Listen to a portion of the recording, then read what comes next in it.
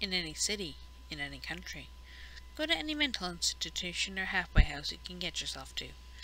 When you reach the front desk, ask to visit someone who calls himself the holder of the path. The worker will then try to keep a look of indifference on his face while handing you the key, which, as he will explain, belongs to an unused supply closet in the building. If only it were that simple. Upon locating and unlocking the correct door, you will find yourself staring out onto a narrow, winding road suspended in an endless void.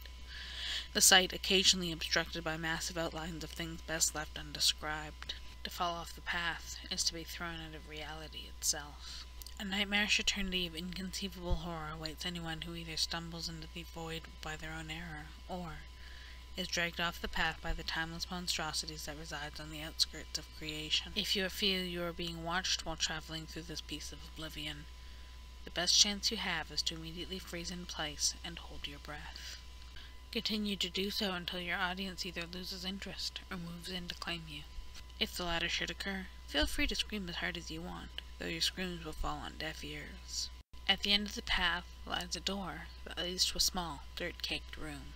Propped against the room's far wall is a heavily emaciated corpse.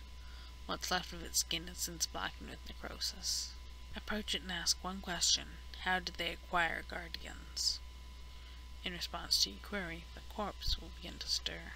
A subtle red glow will emanate from its eye sockets as it lifts its head and begins to whisper the long and macabre history of the holders. It will speak of unholy pacts and unspeakable atrocities.